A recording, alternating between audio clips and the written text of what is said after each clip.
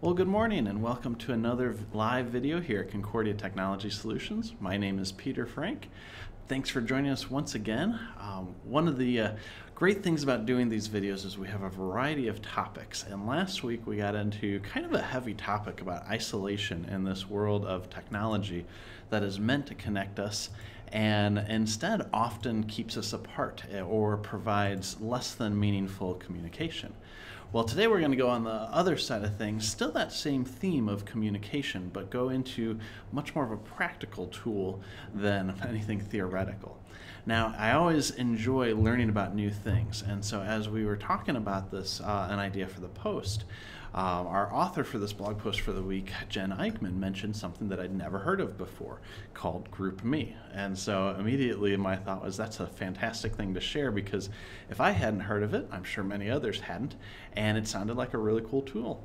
So um, join me in welcoming Jen Eichmann to our video today. Jen, how are you doing? I'm doing great, thanks I appreciate you being here and thanks for writing the blog post. We'll share a link for that in the comments shortly. Um, but Jen, tell us a little bit about yourself and what your role is there at the. Um, let me get it right. The you were the director of development at the Lutheran Student Center and also at Fairmount Coffee. So tell, that's a interesting title. Tell us a little bit about that. Yeah, so um, I'm at the I call it we call it the LSC, which is the Lutheran Student Center, and we are a campus ministry at Wichita State University. We're just south of campus, and we've been there since probably like the 1960s, 70s. And um, about a year ago, August 3rd, we decided to just kind of change things up. So we opened Fairmount Coffee Company, which is our latest outreach ministry. So if you hear um, smoothie machines or talking in the background, it's because we are hopping today, which is nice because this is the first week of summer break. Oh, so wow. my role is the development director. And so what I do is I get to um, work with volunteers, connect with potential donors, and I help a lot behind the scenes with communication and marketing for both the LSC and Fairmount Coffee. Very cool.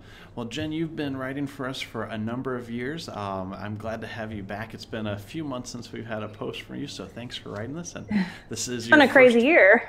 yes, obviously, if you guys are launching coffee shops, I wish we had a coffee shop around here. That would be both a good and bad thing for me. so.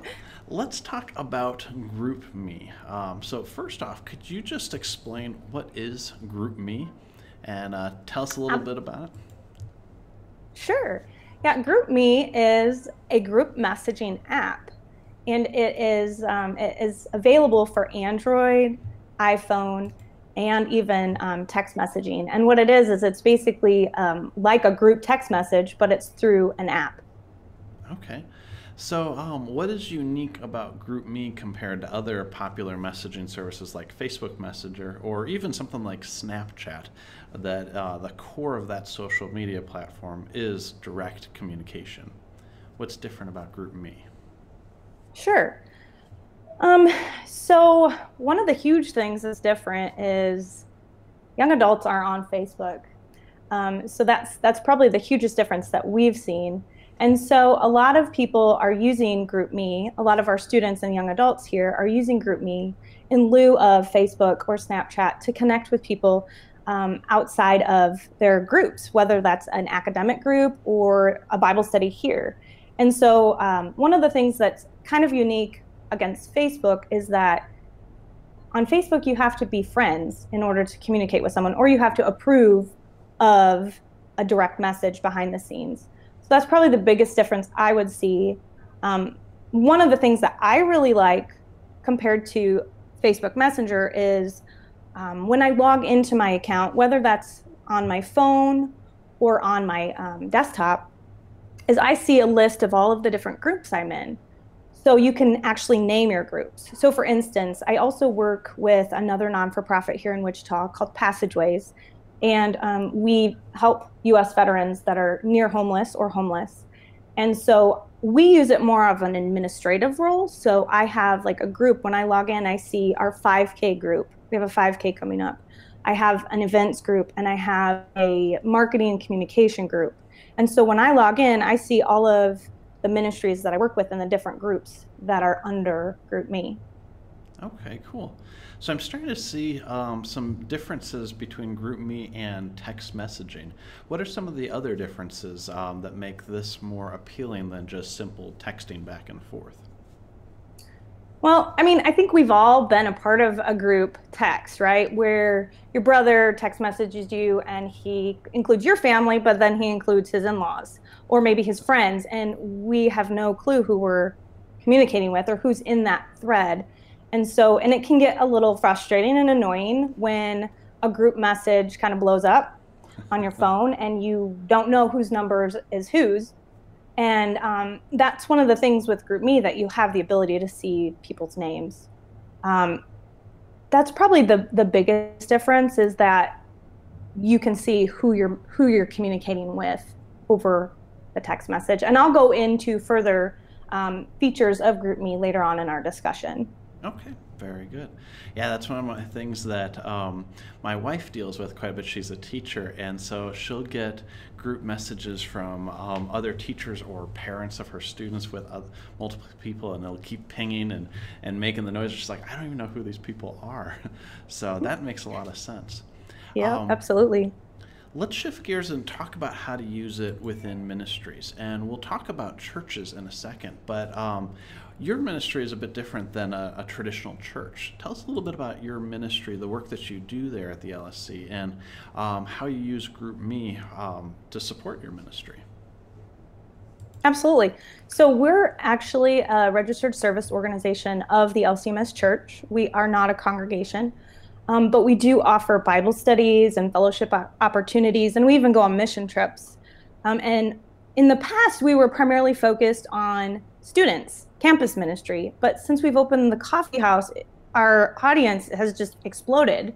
Um, yesterday, an eight year old came into my office and wanted to show me something. And then a couple months ago, we had 90 year old women who were playing bridge in the coffee house. Um, so our audience has really changed and our ministry has really changed. But we primarily use uh, GroupMe. Behind the scenes, we have different groups. Like we have a women's Bible study that meets two times a month. And so we have a group that we can connect with, kind of send reminders. Hey, we have Saturday sips. Um, you know, next Saturday, join us. And we have one for our college age Bible study. We have one for our um, young adult Bible study. We have um, we are a student led organization, and so in order for us to be able to partner with campus, we have to have an executive team of students. So um, my our, my coworker Paige, she's our DCE here. She has an executive um, leadership team that she connects with um, through GroupMe. We have a marketing communication team. We have some students that help us with some graphic design, and so I connect with them that way. And then um, Paige also has a mission trip group that she uses like they just went to Mexico over spring break, so she sends reminders and kind of stays in touch with people behind the scenes, not not via email. This is a little bit more intimate than email, but um, she can connect with them leading up to the mission trip as well. That's really cool. Now, uh, I know it's not a traditional church setting, although many of those things that you described happen in a, a church. Um, but you also have quite a bit of experience doing communications with churches. So, um, using that kind of combination of your, your past experiences and what you're doing now, how would you recommend that a church could use GroupMe? Yeah, I, you know, when I wrote the article, I, I wrote it from my perspective in this ministry, but then, you know, I started thinking about how could churches use this? And I really think there's some really kind of cool ways that churches could use this. I, I could see it being used in leadership roles, whether that's your church council, your elders, um, other boards, committees, to stay in touch between their meetings. If there's if there's things that need to be communicated that aren't really warranted for an email, GroupMe would be a great tool to use. I also see this being probably uh, beneficial for subcommittees, like maybe the mowing team. You know, I was thinking about if you have a week that you're assigned to mow the campus, um, and you you can't commit to that week anymore because a family engagement came up, you could send a message to the other mowing team members and ask, "Hey, could I switch?" And and it might be a little bit easier to communicate via GroupMe than an actual formal email. I could see this being um, really beneficial for maybe like funeral luncheons or just fellowship events in general. Maybe your event committees at the churches. I can see this really being beneficial for staff as well.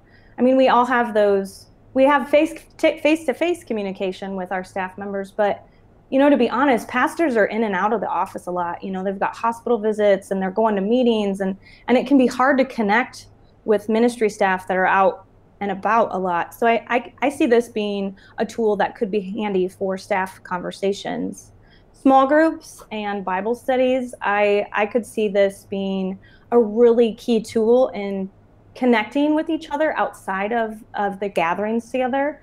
I could see maybe a pastor or a, a group leader asking digging deeper questions or asking, How can I pray for you this week?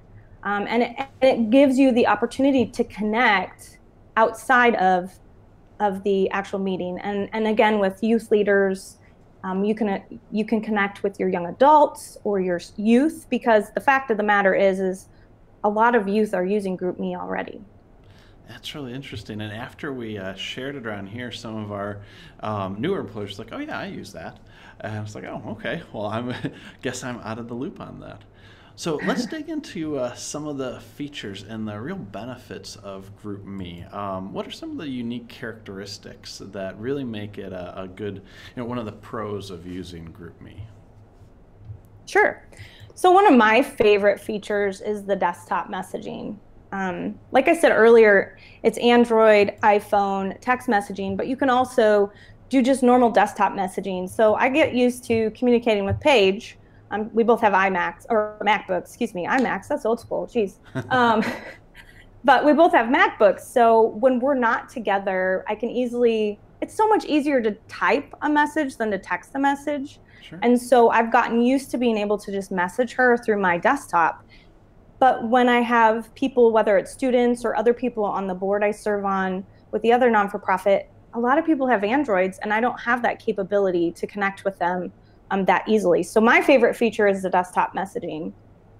Um, other features include, I just mentioned the compatibility with multiple devices. Okay, so we go back to the group text messaging that we were talking about earlier and how annoying it is when you're in a, a group text and your phone just blows up. Um, one of the things that I like about GroupMe is on my phone, I can set my notifications to not have a banner on my phone or not have a ding. I, I set it so that I just the icon changes, you know, to like two. Okay. Um, so that's really handy. You can also um, there's an office mode, so you can turn off the notifications on your phone when you have a desktop GroupMe oh, message open. Cool. Mm-hmm. Oh, like and then probably another great feature is uh, going back to the group messaging again through your through your phone is that you can actually leave conversations. You know, we get in those awkward text messages and you don't know who anybody is and you you just want to leave but you can't you're stuck. And so with uh, with GroupMe you can leave. So if you're no longer on the mowing team you just leave that conversation. And then um, you can also mute conversations. Um, one of the things that one of our students for for my blog post i interviewed a, a couple of our students.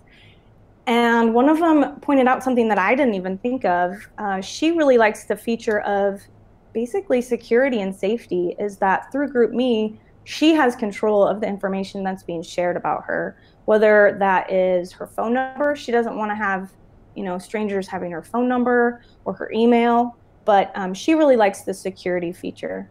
And then um, our DCE Paige is one of her favorite features is the ability to, to pull people. So um, she'll ask, you know, like, hey guys, do you guys want to go to a movie on Friday? Or um, we're going to have a new Bible study. What do you guys want to do? And she'll she'll put like three or four options on there, and then she can get kind of a quick feel of what people are looking for.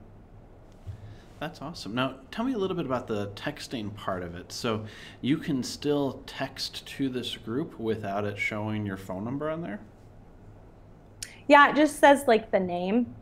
Okay. Um, so like it would just say Jen Eichman or whatever. Um, like when you start a group, you you type in someone's email address or phone number and you give them a name, and then you'll see Jen Eichman. That's really cool. Yeah, with our mm-hmm. church council, um, I set up our meetings and coordinate with the other members of the council, and I have an, a good understanding of who responds via email and who I have to text because they never check their emails because we have many mm-hmm. different ages represented there, and it everybody seems to have a different preference. Uh, it sounds like something like this would be uh, better than having to go through you know three or four different communication channels to reach one group. So, with mm-hmm. everything, I'm sure there's some downsides. What would you say are some of the cons of using GroupMe for um, ministry purposes? Sure. So, I, I interviewed um, Paige and two of our students, and this is one of my frustrations as well. And all three of them mentioned it was losing the details.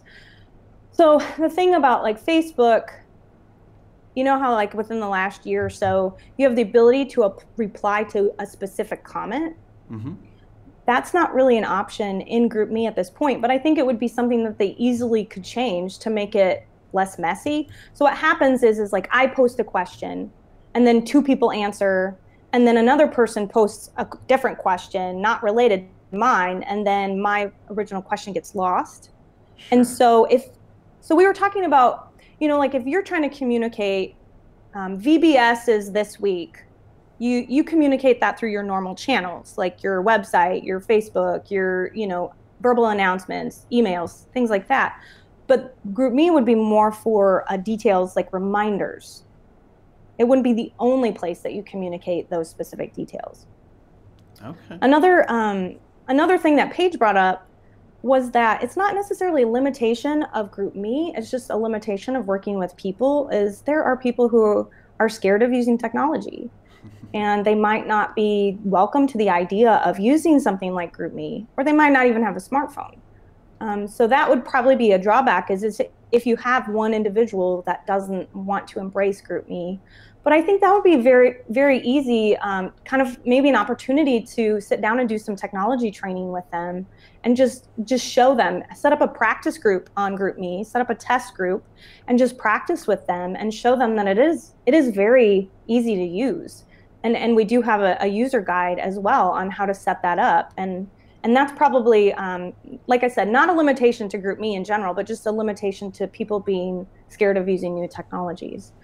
Sure. and then probably the last um, con is that people do prefer text message for individual one-on-one messages. So like the individuals that i that i interviewed they were saying that if they were going to be individually communicated with it's more uh, they would prefer to have it through an, a text message versus GroupMe well that makes sense um, because it's not there's not a concern about privacy or security there when you're already you know having that one-on-one dialogue. You know with whom you're communicating. It's not um, there's nothing sensitive about that or there there is sensitivity to it and so you don't have to worry about uh, other people seeing that. It's not going to get that yeah absolutely Good. One well, of the things I didn't mm-hmm. mention though was that there is an ability to direct message through GroupMe. Okay. So you could do a specific message between two people and the rest of the group wouldn't see it. I see. Okay, so maybe the notification part of text messaging then makes it a little bit quicker to respond or know that somebody had texted to you, and that might be a preference. Or is there another reason why text messaging might be better for one on one communication? I don't know. It's just like a, a, theme that I saw around the students that I talked to is that they said, you know, more um, in depth, more maybe intimate personal conversations are appropriate through text versus GroupMe. All right, cool. Well, let's talk um, for churches. Let's say that um, somebody who's watching is now convinced that they want to use GroupMe at their church. What would be kind of that ideal situation where GroupMe would work for a church? Versus a situation where it may not, um, whether it's technology or audience. What do you think would be a good situation or a good church to use GroupMe? I think it's probably not from an entire church standpoint, but it's more so probably from a ministry standpoint or maybe a group standpoint.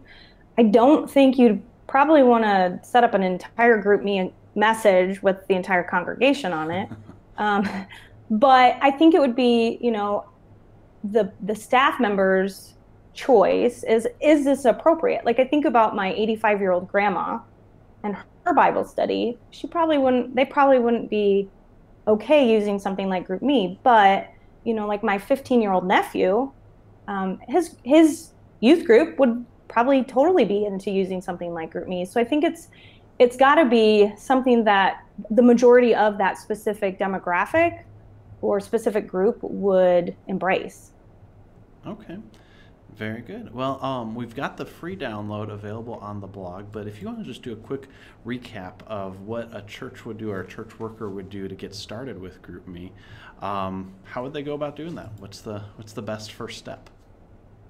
Well, uh, download the app or go to their website and set up your own account, and then just start playing around. You can you could set up a sample group with some of your other coworkers just to kind of get used to using the app, and then just kind of brainstorm brainstorm the different ideas that you could utilize it. Because I really feel that the the opportunity to use it is endless both both by ministry and by you know caring for your campus facilities the leadership teams things like that. Very cool well, Jen, thanks so much for not just sharing this new idea with me, but writing the blog post and joining me today on the yeah. video. Uh, I'd love to hear from our viewers uh, what thoughts you have. Um, if you're watching after the fact, go ahead and comment. We'll still be paying attention to that. Uh, if you've got any questions for Jen, I know she'll be watching that too. But Jen, thanks again for joining me today. I appreciate it. Thank you. All right, everybody, we'll be back next week with another great topic on how to leverage technology in your ministry. Thanks for watching. Have a great day.